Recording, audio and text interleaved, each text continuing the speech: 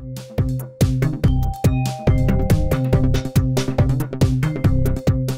El Tribunal Electoral de Quintana Roo avaló al Instituto Electoral de Quintana Roo y resolvió no otorgar a José Luis Toledo Medina su registro como candidato del PAN, PRD y Movimiento Ciudadano, pues no cuenta con cinco años de residencia legal en Benito Juárez. Este lunes, en sesión con carácter de urgente, el órgano colegiado rechazó de manera unánime la impugnación del PRD y ahora no tendrán más remedio que acudir a la sala regional de Jalapa.